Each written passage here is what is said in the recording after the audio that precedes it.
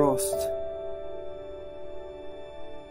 Two roads diverged in a yellow wood, and sorry I could not travel both, and be one traveller.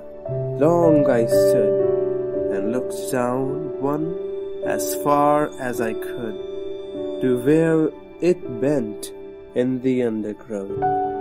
Then took the other as just as fair, and having perhaps the better claim, because it was grassy and wanted wear.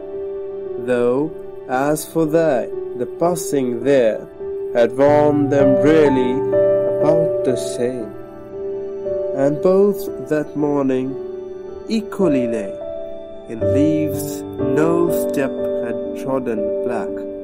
Oh, I kept the first one for another day, yet knowing how way leads on to way, I doubted if I should ever come back. I shall be telling this with a sigh, somewhere ages and ages hence. Two roads diverged in a wood, and I, I took the one less traveled by, and that has made all the difference.